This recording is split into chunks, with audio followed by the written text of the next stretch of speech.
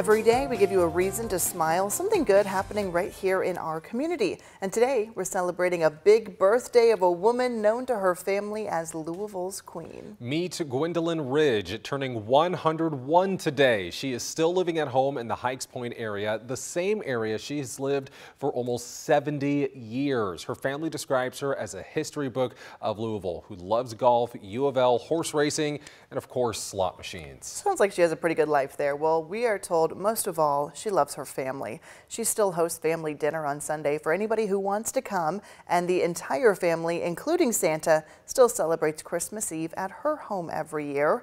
And get this, family said she got the nickname Louisville's Queen because of her striking resemblance to Queen Elizabeth when they were both younger would not guess 101 years old looking at that no, picture. She looks fantastic, and I like how she can still share a margarita.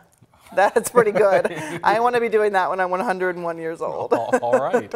Well, we want to wish Miss Gwendolyn Ridge, uh, the Queen of Louisville, a very happy 101st birthday from all of us here at WHAS 11. Don't forget, send us your reason to smile. You can text us anytime, 502 582 7290.